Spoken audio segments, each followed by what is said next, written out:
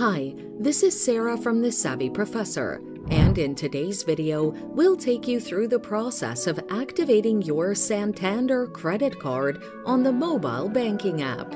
Stay tuned to find out how and so much more. Steps to follow.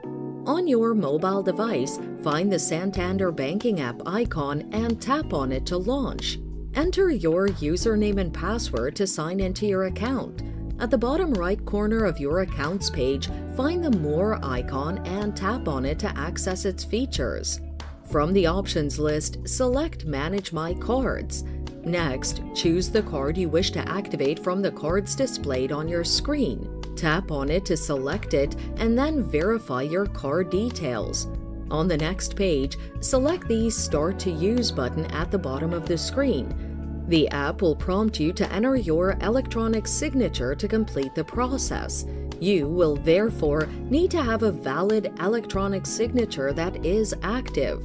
Once you complete this process, your debit card will be activated and ready to be used. So, there you have it. You can activate your Santander credit card on their mobile app by following these simple steps.